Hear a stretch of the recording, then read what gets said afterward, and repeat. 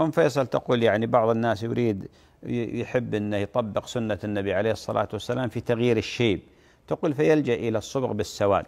أختي أم فيصل بارك الله فيك صح أن النبي عليه الصلاة والسلام قال غيروا هذا الشيء ولما جاء بوالد أبي بكر الصديق وكان رأسه يعني أبيضا اشتعل الرأس شيبا ولحيته شيبا قال غيروا هذا الشيء غيروا هذا الشيء وكان النبي عليه الصلاة والسلام يحث على تغيير الشيب آه، والصحابة رضي الله عنهم كانوا يصبغون آه، بالحنة ويصبغون أيضا يصفرون لحاهم ولذلك تغيير الشيب سنة وليس فريضة يعني ليس أمرا واجبا بل سنة ثابتة عن النبي عليه الصلاة والسلام.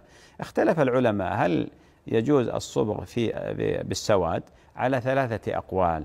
قول ذهب إلى المنع مطلقا وقالوا بأن النبي عليه الصلاة والسلام آه، قال وجنبوه السواد وذكر قال سيكون آه، أقواب في آخر الزمان لا يدخلون الجنة.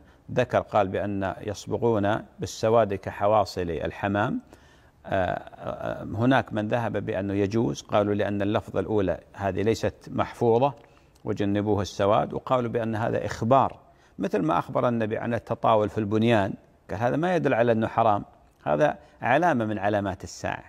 ولذلك قالوا يجوز الصبغ بالسواد. بعض العلماء توسط قالوا يصبغ مثلا آه، بالسواد جنس من الناس مثل ولي الأمر مثلا في المعركة مثلا يعني هكذا قالوا. اللي يظهر والله أعلم أنه ما دام هناك أصباغ آه، قريبة من السواد مثل الكتم ها الكتم هذا قريب من من من السواد فترك الصبغ بالسواد واللجوء إلى الكتم أفضل أفضل لكن لو حصل وصبغ لا نستطيع أن ننكر عليه وذلك لأن هذا القول عليه جمع من أهل العلم.